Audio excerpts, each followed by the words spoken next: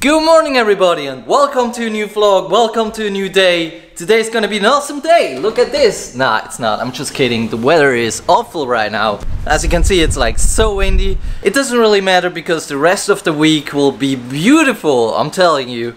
And I have awesome news for you guys. I just met someone from E-Longboard and that means from now on I will have the newest longboards, the newest electric longboards. Anyway, I would say let's get the day started!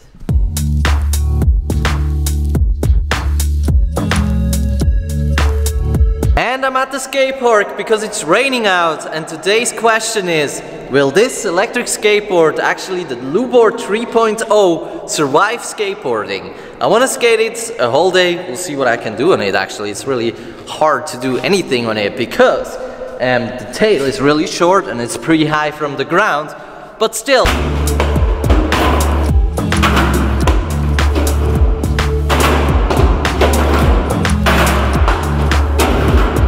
Already was a little impact. I'll tell you now why it's so hard to do something on it. You know, when I stand on that tail, it's usually, usually the, my board is like, you know, sliding away. That's not gonna happen with a normal skateboard. And now let's see if it's still working.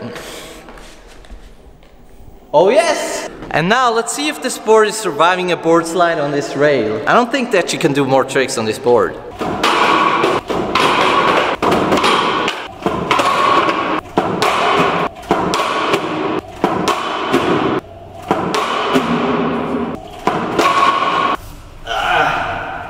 I just made my thumbnail right there and that was some real impact now.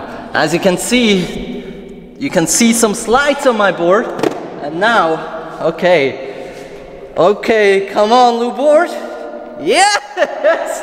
No way! It's still working, I can't believe that. I've never had that with another electric skateboard.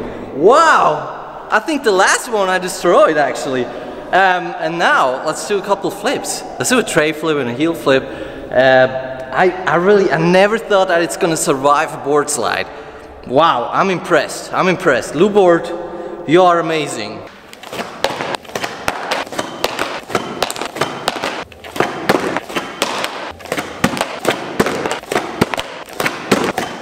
This board is so heavy. it's so hard to do tricks on it, especially flips. I'll give a couple more tries. But yeah, I think I'm just not able to flip it actually.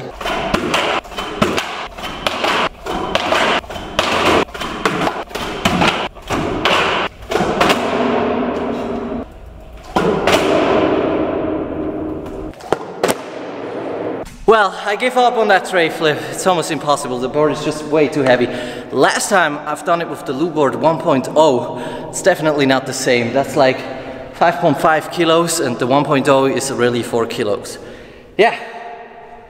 Uh, let's see if it's still riding though. I turned everything off. Well, that sound is good. Ooh, okay. I mean, that was some real impact. What? oh, that, this is just, it's just crazy. What the fuck? You can really skate with this board. I didn't expect anything like this. I mean, here's, there's a motor and electricity and everything in it. Pfft, I can't believe it. I would never try with my board or anything else, but with this one, wow. I'm also getting used to that board. I really think you can skate with it now. The only disadvantage though is it's really hard to do tricks on this board because the tail is so short.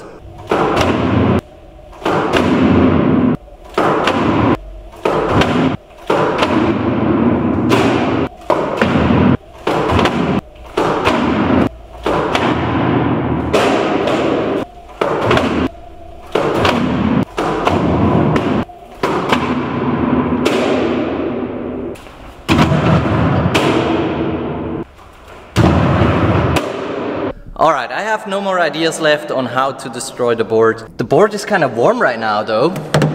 Oh well, it's because the board is still on. And now... Oh yeah, everything is still on. Ooh. Oh, yeah. There you go. I already thought I destroyed it. it's still working, as you can see. Yeah. No problems at all. I think it's insane. And that was the last test with this board.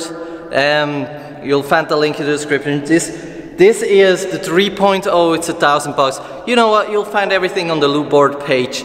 You have seen, you've heard me talking about it a couple times already, yeah? Alright, and that was the last test with the Lou Board 3.0. I hope you enjoyed. Uh, well, the day's not done yet. Maybe I'm gonna do some normal skate tricks here as well. And tomorrow I'm gonna have a special board, the Inboard M1. And yeah, I think I'm gonna do a review of this board. If you have any more ideas what I could do with this board, tell me in the description. Maybe you wanna buy that board and you wanna know something special about it, tell me in the comments. And now let's go for a normal skate session.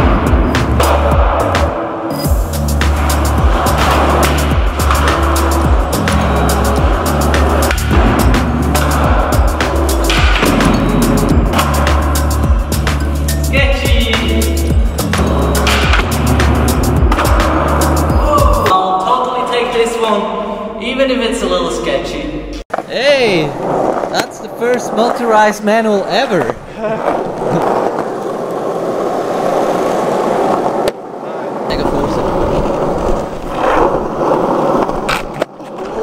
It's really hard, right? I can tell you guys, I've tried it before. I would say it's time to try an ollie down some stairs.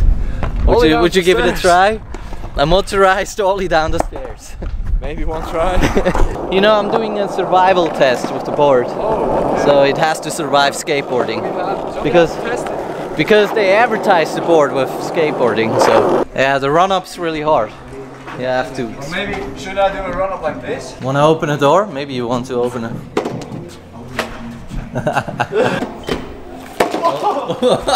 wow! I was like full speed and then I fell.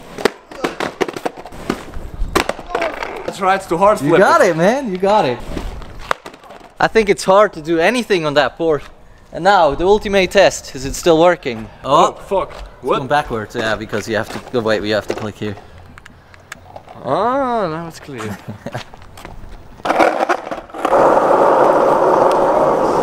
of course it's still working. I, I, really, I make no advertising for this board. I'm, I'm just testing it. and it works very well. I'm just well. like, it's cool if someone else can say, hey, it's still working. Yeah, nice. very good, nice. I gotta say. Yeah, it's cool. Well, I know there's lots of electric skateboarding in my videos lately. Um, it's just because it's working so well. Yeah, I'm outside again because my parents are sleeping. I mean, check out the last 10 videos. Every electric skateboard video is doing well which I think is a little weird because videos like the wakeboard video or the bike video put so much more work in it and they just don't work well. And I say to myself, let's do just a comparison, I will get at least 15,000 views on it. Because of electric skateboarding, my channel is working pretty well right now. I get like 200 new subscribers every single day, which is amazing. I just wanted to know of you guys, what do you think about all this? Tell me in the comments, do you want to see more skateboarding videos? Tell me in the comments. Hopefully we'll see each other tomorrow again because tomorrow I'll test an awesome board, Inboard M1. I would say see you